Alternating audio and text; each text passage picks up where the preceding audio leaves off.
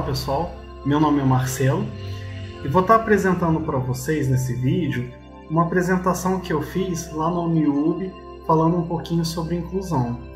O título da apresentação é a luta permanente da inclusão. A escolha desse título ela se deu porque a inclusão ela deve ser feita diariamente. Então, a todo momento, em cada estágio da vida, é necessário a gente fazer algum tipo de inclusão. É, normalmente, quando se pensa em inclusão, nós pensamos da seguinte forma: pode ser principalmente ligado a deficiente, então a deficiência, desculpa. Então, na, nessa imagem, a gente está observando o deficiente físico, o deficiente visual, a, a síndrome de Down, trissomia do cromossomo 21 e o autismo. Outras pessoas podem pensar a inclusão na inclusão escolar, tá? Todas estão certos, mas na realidade o termo inclusão deveria ser amplo.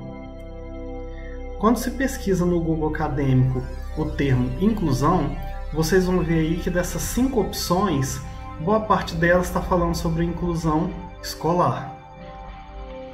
Mas agora, responda comigo: já se sentiu diminuído por não ter o corpo ideal? Já se sentiu mal por não se vestir de determinada forma já foi julgado por sua cor ou tipo de cabelo? Já foi julgado por sua religião? Já se sentiu constrangido pelo seu peso? Já serviu de referência por seu tamanho? Já foi julgado por seu comportamento? Se você respondeu positivo para alguma dessas questões, então sim, você foi excluído em algum momento da sua vida. Agora eu vou falar sobre alguns tipos de exclusão. Nesse caso, vou citar cinco: exclusão étnica, que faz referência aos grupos minoritários excluir em razão da etnia ou cultura, como índios e negros. Exclusão econômica faz referência à exclusão de pessoas com menor poder aquisitivo na sociedade que não conseguem ter acesso a bens e serviços. Exclusão de gênero, muito comum na nossa atualidade, faz referência geralmente a mulheres e grupos que não se adequam ao gênero de nascimento, como os transexuais. Exclusão patológica faz referência à exclusão de indivíduos em, rela... Desculpa, em razão de alguma doença ou deficiência, como cadeirantes e pessoas vivendo com HIV. Exclusão sexual faz referência à exclusão de indivíduos determinada, indivíduos determinada pelas preferências sexuais, como lésbicas e homossexuais. E aí, para poder representar todos esses tipos de exclusão, o melhor termo a ser buscado seria a inclusão social.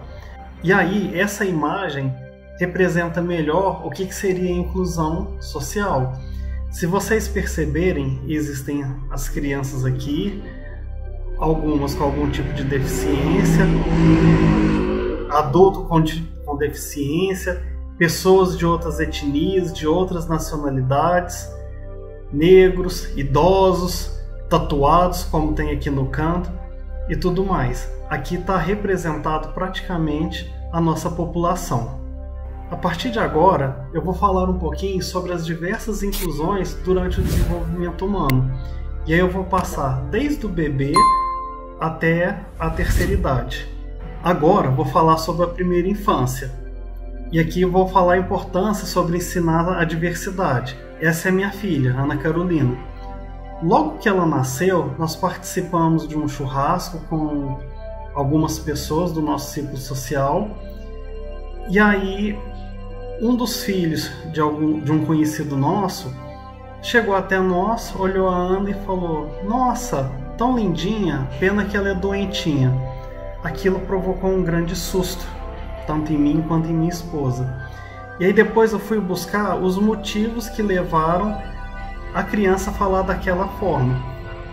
E aí eu fiquei pensando assim, bom, provavelmente os pais ensinaram a ela que ela que a, a, o filho provavelmente os pais já sabiam que a criança ia perceber que a Ana Carolina era um pouquinho diferente dos outros bebês e tentaram instruir ele de alguma forma que ele pudesse assim não causar nenhum constrangimento a eles ou a nós.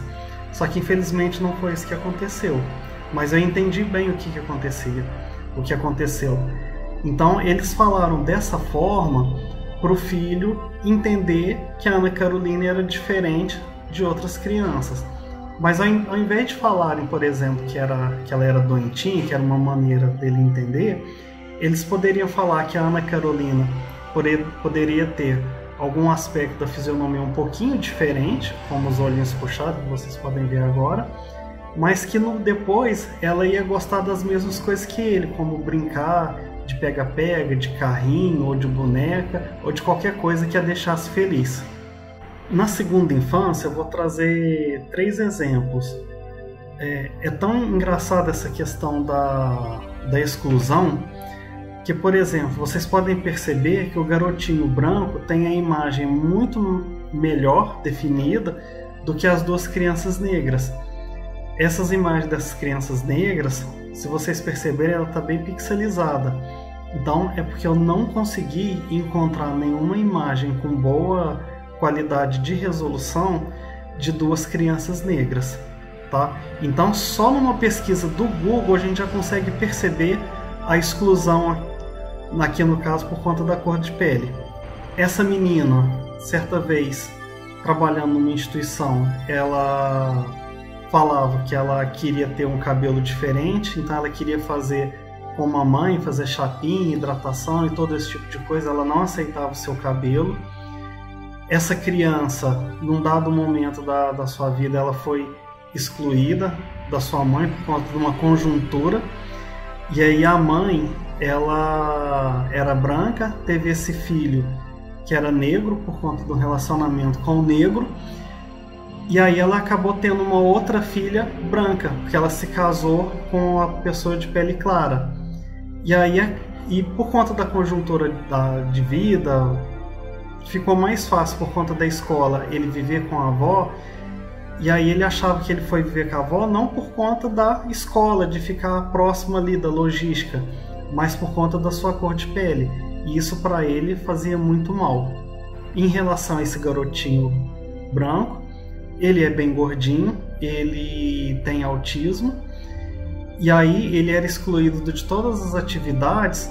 Primeiro que ele não conseguia acompanhar com a turma as atividades acadêmicas, e depois ele não conseguia acompanhar nas atividades físicas por conta do seu peso. Então, em todas as situações dentro da escola, ele era excluído pelos colegas, primeiro pela condição do diagnóstico de autismo, que ele não tinha algumas habilidades que os seus amigos já tinham, e depois na educação física por conta da, da sua condição, que ele era um pouquinho mais gordinho que os outros. Aqui na terceira infância, eu vou fazer o uso da fala da, da querida Adriana Neves, a Adri Autista quando meu pai não andava é, é, no trator, porque eu costumava andar com meu pai no trator, ou quando vinha a cidade que a gente vinha na carroça, eu ficava muito assim, ó, o tempo inteiro. Então, era assim, meu pai, meu tio e eu no meio. Até cair da carroça lá nos pés da, da égua, mas isso foi um dos fatos.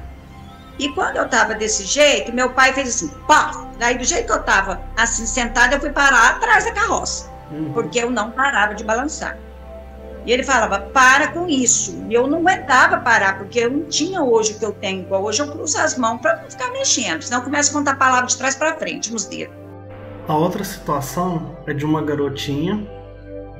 Conheci ela numa escola e aí ela ela tinha o, o, corpinho mais avantajado em relação ao, aos colegas, então ela era um pouquinho maior que eles.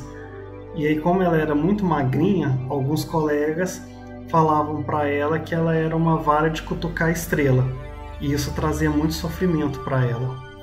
Na adolescência, eu vou trazer dois vídeos. Primeiro com a Adri Autista e segundo com a Ieda, que é psicopedagoga, trabalha com educação especial, trabalha na rede pública e é mãe de uma criança autista. Quando você é uma pessoa anormal, assim, que as pessoas veem, você é excluída. Uhum. Então, as, as, as colegas me falavam que eu era brega, toda coisa. Você não, não se entrosa, você é boba. Oi, eu sou Ieda Jesus, eu sou mãe do Vinícius, ele tem 12 anos, ele é autista.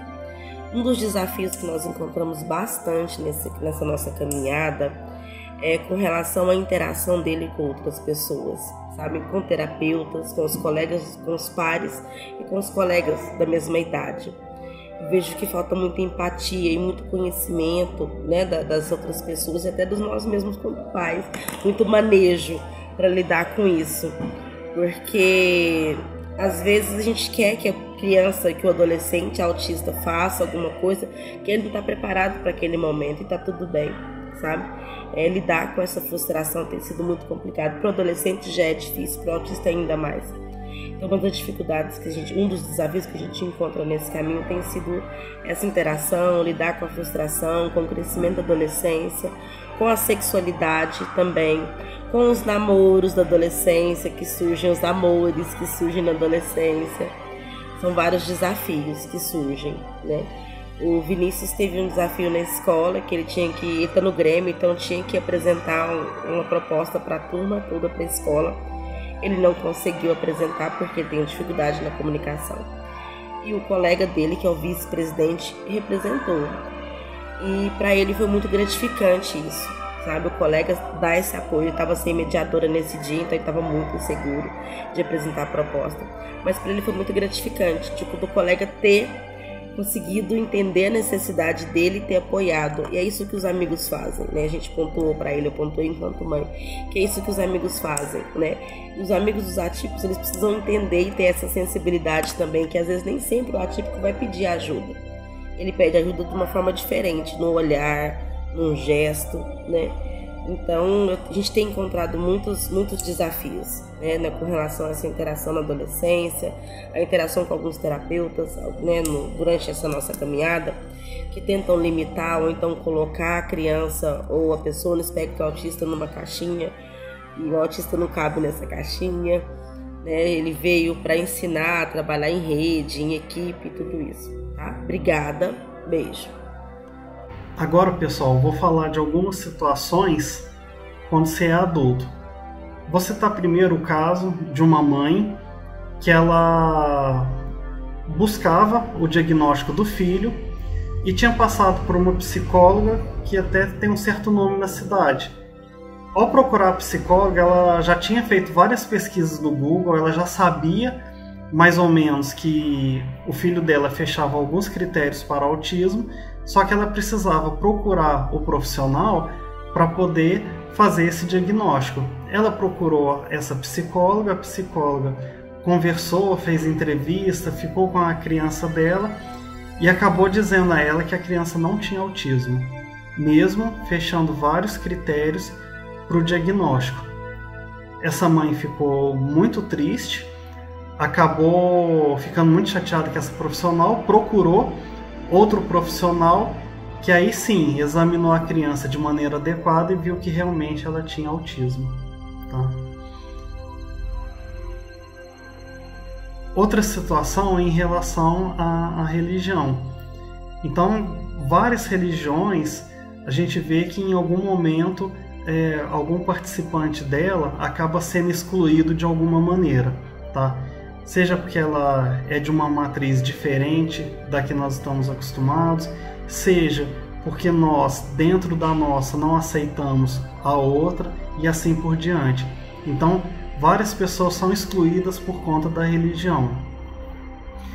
Essa outra imagem ao lado fala sobre são pessoas dentro de uma universidade.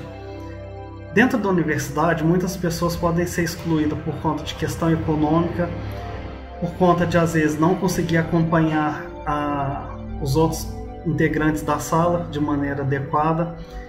Ela pode ter às vezes algum esquema de fracasso ou de defectividade e aí se impede de acompanhar de maneira satisfatória junto com os outros, pois ela pode achar que vai fracassar em algum momento, ela pode se sentir diferente dos demais e não merecedora daquilo que ela vivencia ali naquele instante e ali precisa que muitos colegas é, tenham um olhar para acolher essa pessoa ao invés de excluir ainda mais. Coloquei duas capas de vídeo que vocês podem ver na íntegra no canal. A primeira é a culpa da mãe, que é a fala da Marielle, que é mãe do Ian, falando sobre a propaganda da Boticário. Vale muito a pena ver esse vídeo, ficou bem interessante. Mais um vídeo da, Tri, da Dri, autista, onde ela fala sobre a, como foi a experiência dela sendo autista no trabalho, como as pessoas referiam a ela. E também é muito interessante porque talvez hoje em dia tem várias pessoas que de repente são autistas, que não foram diagnosticadas em nenhum momento da vida e está trabalhando ao seu lado. E às vezes ele tem alguns comportamentos que são diferentes do seu por conta de um diagnóstico que ainda não chegou a ele, mas ele já apresenta tais comportamentos. E por último, eu coloquei a Maria Fernanda Cândido, repórter, que saiu da Globo por conta dos seus cabelos brancos. Dentro da TV, principalmente nos telejornais, existe um padrão de beleza e esse padrão precisa ser seguido, inclusive, para manter a audiência. Então, se aceitam muitas das vezes homens mais velhos, com os cabelos já grisalhos, mas as mulheres não. Precisam estar sempre impecáveis, com a beleza bem cuidada e dentro de um padrão de beleza que é aceito pela sociedade. E agora, para fechar o desenvolvimento, o idoso ou a terceira idade. É, muitos avós, em determinada fase da vida, acabam ajudando os pais na, com os cuidados com o neto, porque os pais precisam trabalhar, que os pais às vezes precisam desempenhar alguma atividade e precisam de um suporte familiar para cuidar dos seus filhos e acaba os avós cumprindo esse papel. Então, nessa primeira imagem, a gente vê uma avó cuidando do seu neto, só que muitas das vezes ela cuida, mas ela não tem tanta liberdade de fazer as coisas como às vezes ela gostaria que fosse, por conta dos pais.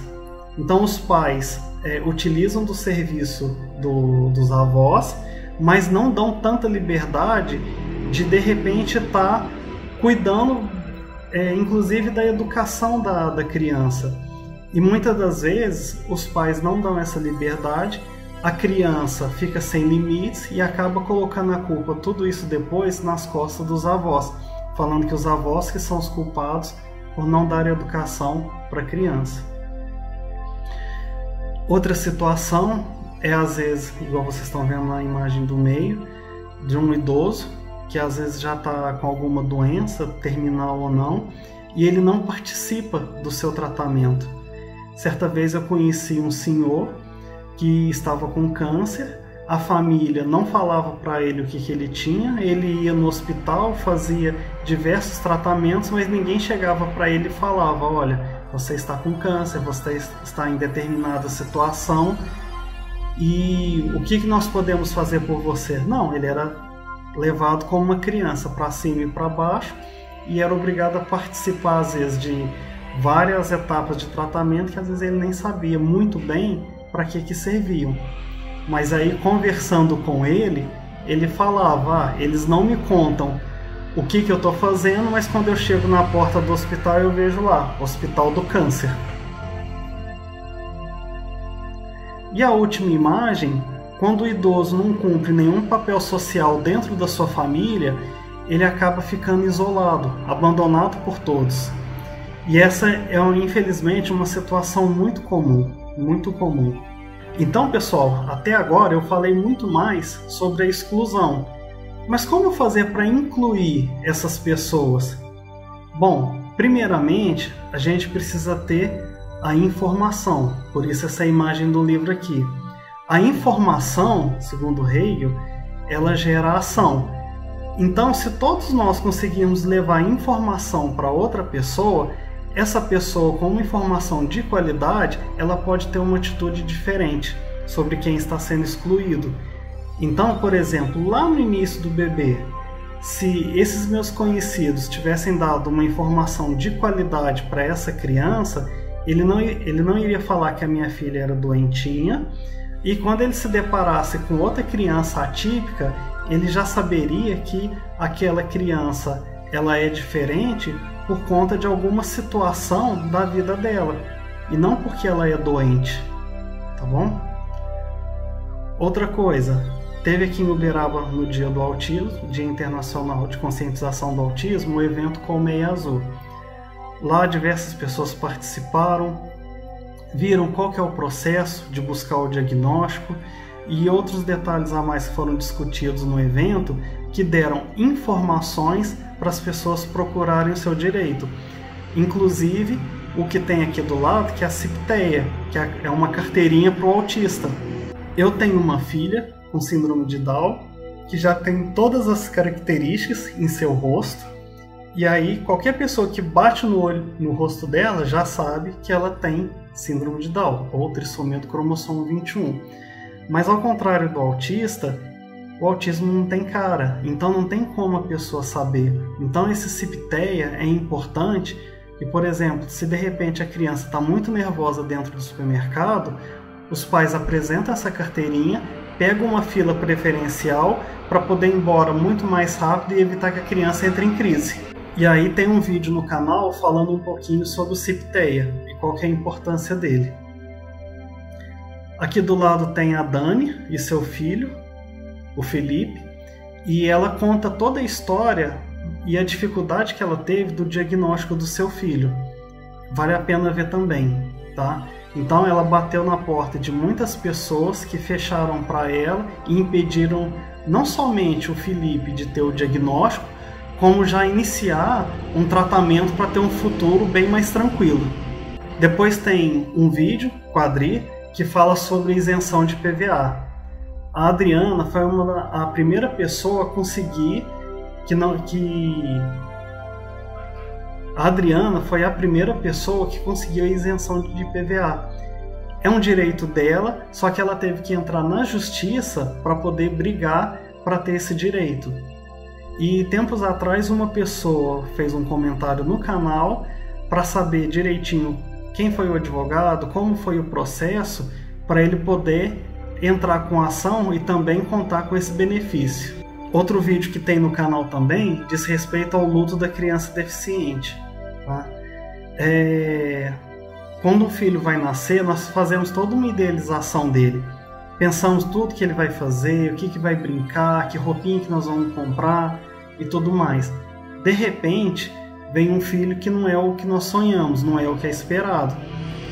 E aí, vamos criar novas expectativas sobre essa criança. Só que isso não é feito de uma hora para outra. Ah, então a mãe ela precisa passar por um processo de luto desse filho idealizado. E muitas das vezes as, as pessoas que estão do lado não entendem o porquê que, a sua, que uma mãe não dá todo o carinho, não dá todo o afeto para o filho. Às vezes ela precisa de um tempo para ela se recuperar, para depois ela poder assistir essa criança, tá? Então é preciso acolher essas mães também. E esse vídeo fala um pouquinho sobre isso. Um vídeo com a Ieda falando da importância de trabalhar juntos, pais, os profissionais de saúde e a escola, para a criança participar da melhor maneira possível de todas as atividades da escola, ou seja, ela ser incluída nas atividades da escola junto com seus colegas então, essa tríade é extremamente importante para o sucesso da criança dentro da escola. E por último, a imagem de uma moça com a sua mãe, tá? E aqui eu trago a questão de institucionalizar a, a mãe.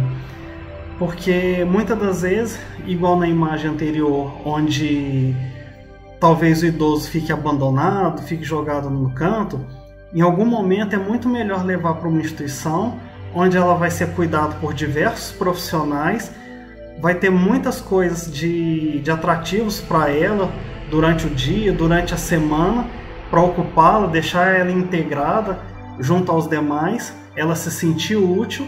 E aí, aos finais de semana, onde os filhos têm um pouco mais de tempo para cuidar, de dar carinho e tudo mais, tira ela dessa instituição e fica com ela em casa, para dar todo o suporte e manter os vínculos do idoso com a família.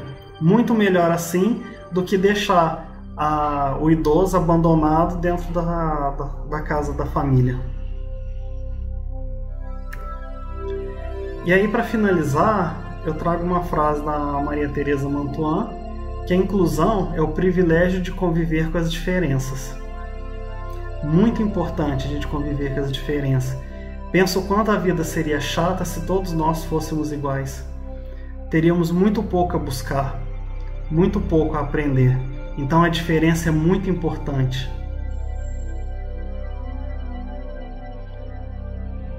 Aqui as referências das imagens utilizadas e aqui os meus contatos. Então é isso, pessoal.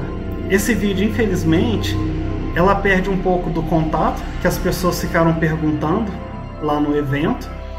É, não tem como deixar as discussões que aconteceram lá, mas se alguém quiser deixar alguma pergunta, responderei assim que possível. Muito obrigado.